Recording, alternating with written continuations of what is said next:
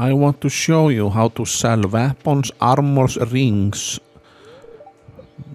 Hi, how are you?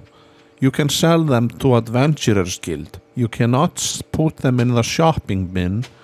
So if you want to sell your weapons, armor and rings, go to the Adventurers Guild between 2 and 10 p.m. Talk to the guy with the eye patch and sell your weapons and rings that you don't need anymore and armor pieces. That way you can get money for them and don't have to throw them away for nothing. But you cannot sell it to the shopping baskets.